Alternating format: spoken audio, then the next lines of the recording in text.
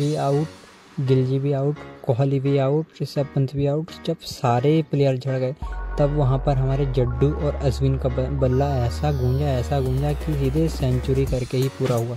अभी देख सकते जिसने हाईलाइट नहीं देखा वो देख सकते हैं जाके, अगर आपको हाईलाइट चाहिए तो कमेंट कर दीजिए, मैं हाईलाइट भी अपलोड कर दूँगा।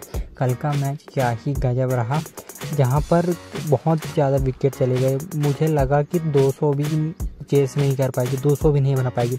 आज इंडिया 400 के करीब है। जिस जिसने भी हालात देखे देखो कि भाई क्या गजब ही कल का मैच रहा है और अभी भी बहुत धुआंधार खेल रही।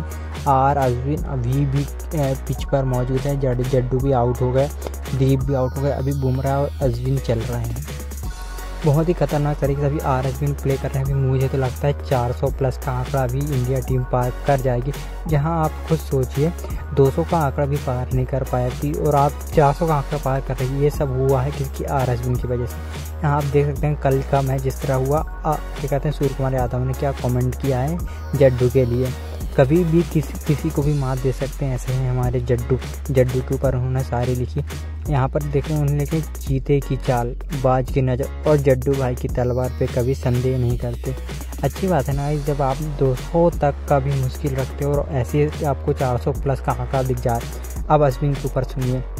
माफ़ करना है भाई, बहुत बड़े प्लेयर हो अब अब आप बताओ सातवें नंबर का प्लेयर सौ पूरे का जाए और आपसे बड़े बड़े प्लेयर ज़ीरो ज़ीरो में आउट हो जाए।